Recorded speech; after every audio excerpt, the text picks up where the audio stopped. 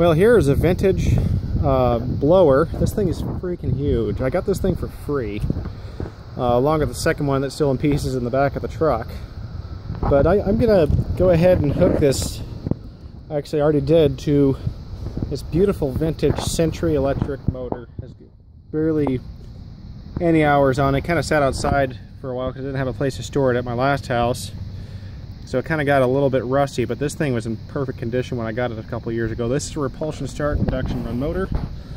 Originally came off of a pipe organ blower.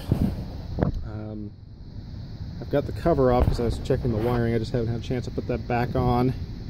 But this thing sounds pretty nice. So let's go ahead and fire this fire this thing up and have a listen. Um,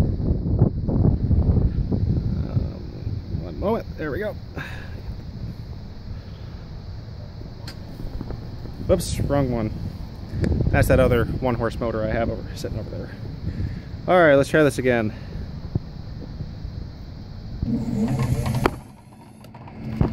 Oh, okay, let's try that again. I don't exactly have this thing properly secured by any means. So, attempt number two. Just like that. It's not really spinning all that fast, but as you can see, it's definitely creating some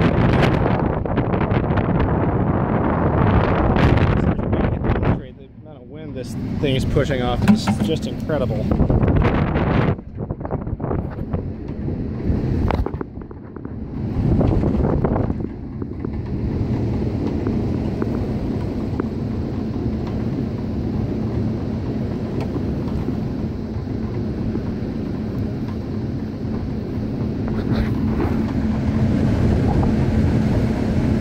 I just love how slow and gracefully that spins.